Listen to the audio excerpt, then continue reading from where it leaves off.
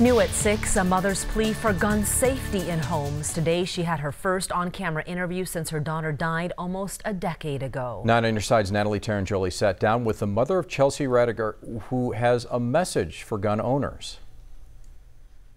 Rebecca Sturman lost her daughter, Chelsie Raidiger, back in 2009. Sometimes it feels like it was just yesterday.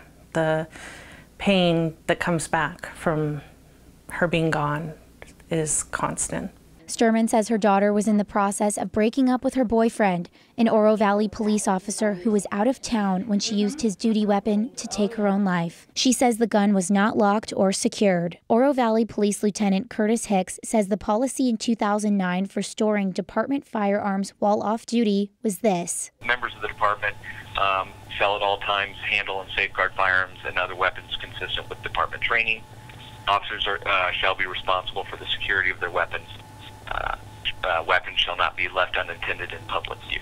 Oro Valley tightened their policy in 2015, but Hicks says that Raidiger's death is not the reason why. The new policy calls for firearms and ammunition to be locked and secured in homes and vehicles in a manner that will keep them inaccessible to children and others who should not have access. It further states that negligent storage of a firearm could result in civil liability. I believe the policy is is pretty clear, and uh, obviously.